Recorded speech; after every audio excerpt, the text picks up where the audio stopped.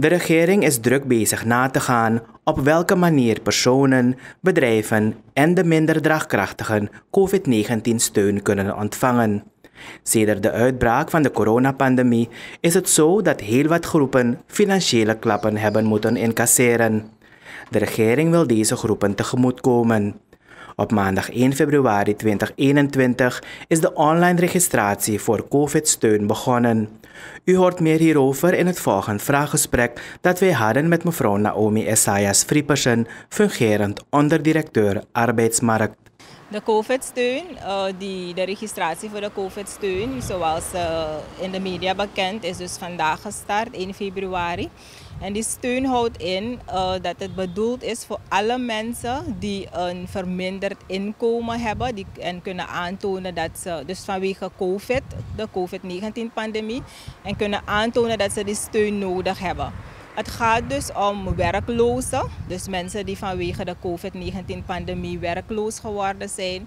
Het gaat dus ook om uh, kleine zelfstandigen. Dat denk ik aan die hostel, die mensen die eigenlijk van hun, hun hostel iets maken, een werk, uh, hun, living hebben en die geen werknemers hebben in dienst. Dan praat ik over die kleine micro-ondernemer die wat middenwerkers in dienst heeft, maar vanwege de COVID-19-pandemie verminderde inkomsten heeft en ook zijn operatie niet meer kan doen, zijn werknemers niet kan betalen.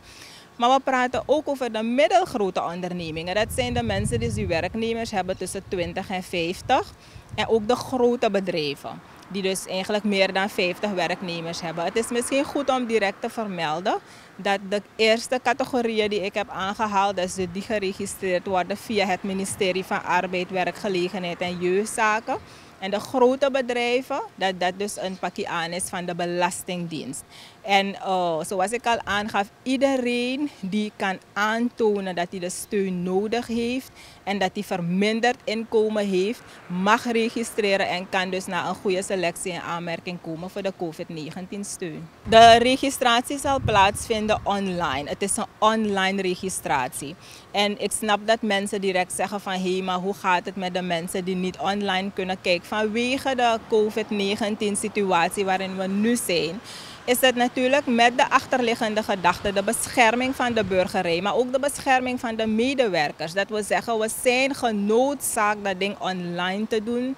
En uh, er is een uh, website, het ministerie van Arbeid, het, de website van, het, van de Belastingdienst en ook de Facebook pages waar mensen de link kunnen zien en daar via die link kunnen registreren online. Um, we, we hebben geen keus om het online te doen. We willen de fysieke registratie sowieso vermijden. Um, we hebben dus ook aangegeven wanneer u klaar bent met registreren, bestaat de mogelijkheid ook om contact op te nemen met het ministerie van Arbeid als u wat vragen heeft. Maar ook voor de registratie zijn de nummers bekend uh, waar men op kan bellen. En dan praat ik ook meteen voor de Belastingdienst dat men ook kan bellen naar de nummers die via uw bekendmaking naar buiten gegaan zijn. Als er vragen zijn, als men toch vastzit, zijn we bereid om de mensen te woord te staan, telefonisch te woord te staan. Om toch die ondersteuning te geven van, om, dat ding, om, om die registratie te doen. Omdat we willen dat iedereen die in aanmerking zou moeten komen voor die steun, dat die het daadwerkelijk krijgt. Maar we zijn genoodzaakt het online te doen. Er is een uh, aantal documentatie die we opvragen, maar ik zal dus wat, uh, wat noemen. Bijvoorbeeld, kijk, het is voor ons belangrijk dat we dus uh, de mensen, sowieso, het gaat natuurlijk om de kleine zelfstandigen en um, de, de kleine bedrijven, dat we de mensen willen brengen van de informele sfeer naar de formele sfeer. En dat vragen we natuurlijk op een van de documenten die we opvragen, de belastingopgave. Zodat we kunnen zien als je daadwerkelijk geregistreerd bent bij de belastingen. Dat is één ding. Ben je geregistreerd? Waar, waar sta je geregistreerd? Sta je geregistreerd bij het KKF? Uh, of bij het ministerie van EZ, zeg maar, dan vragen we ook, stuur dan de documentatie ook voor ons op. Dat is dus één.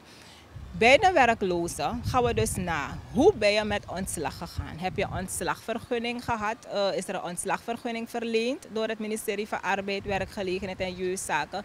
Stuur die documentatie voor ons op zodat we het ook kunnen zien.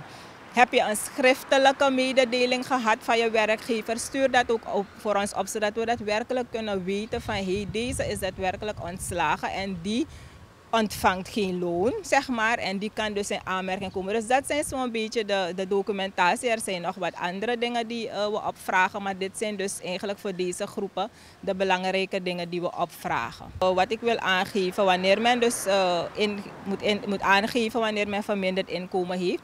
Het is een hele nieuwe registratie. Dus we gaan vanaf het jaar 2021 dat uh, doen. Dat staat ook dus natuurlijk in de bekendmaking aangegeven. Dat we dus werken met een hele nieuwe groep. Toch? Dat je dan kan aangeven van hé, je bent ontslagen um, in deze periode en je komt, dus, uh, je komt dus in aanmerking voor de COVID-steun als je dat natuurlijk nodig hebt. Hè? Tenminste, je zal je afvragen, je denkt als de persoon ontslagen is, echt geen inkomen, heeft de persoon het natuurlijk nodig. Maar we werken met deze periode. Maar er zullen sowieso mensen zijn die eerder ontslagen zijn. En ze mogen zich registreren, sowieso mogen ze zich registreren. En wij gaan dan uh, sowieso nagaan van oké, deze persoon komt wel. Want we moeten, u begrijpt dat we, we moeten een referentieperiode aangeven. Maar we, zullen, we gaan niet zeggen van oké, jij bent in december ontslagen, je krijgt niet. Toch? Uh, we gaan natuurlijk nog de, de, de criteria gaan we na, alle mensen die geregistreerd zijn, we gaan de dingen checken. Maar ik zal zeggen, iedereen die zegt van ik heb een verminderd inkomen, ik ben ontslagen en ik heb geen inkomen en het is vanwege COVID en aan kan tonen dat je de steun nodig hebt, mag registreren. Oké, de uh, registratieperiode dat duurt van 1 februari tot en met 15 februari. En dan gaan we dus de periode afsluiten. En dan geven we in, uh, op 1 maart geven we dan weer de gelegenheid aan degenen die zich niet hebben kunnen registreren in de periode van 1 tot en met 15 februari om zich dan alsnog te registreren. De uitbetaling van de mensen die registreren, dus zij het nou werklozen, zij het kleinondernemers, gaat uitsluitend contant geschieden. Wij willen vermijden fysieke uh, uitbetaling of uh, kasuitbetalingen, laat me dat zo zeggen. Het is, is ook belangrijk om aan te geven dat met deze operatie we niet alleen beogen de mensen een financiële ondersteuning te geven, maar ook om de mensen een, een financiële, we noemen het financial inclusion. Hè? Dus dat in principe de mensen vanuit het, het kasverkeer, dat ze ook wel gaan naar het giraal verkeer. En uh, daarvoor hebben we dus als mensen bijvoorbeeld geen bankrekening hebben, is dan bestaat de mogelijkheid dat er een bankrekening voor ze geopend wordt. Er is al gesproken met enkele banken, zodat de mensen dan hun, hun gelden via de bank kunnen ontvangen en niet per kas. Dus dat is de mogelijkheid die we dus wel bieden.